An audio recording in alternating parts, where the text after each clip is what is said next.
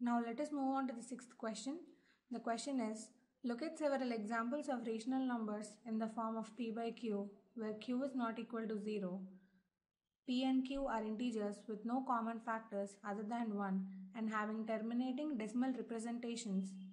Can you guess what property q must satisfy? The property that q must satisfy in the order that the rational numbers in the form of p by q where p and q are integers with no common factors other than 1 having terminal decimal representation is that the prime factorization of q has only powers of 2 or powers of 5 or both.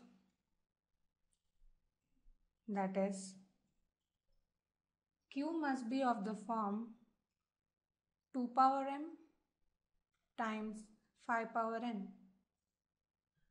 where m is equal to 0 1 2 and so on and n is equal to 0 1 2 and so on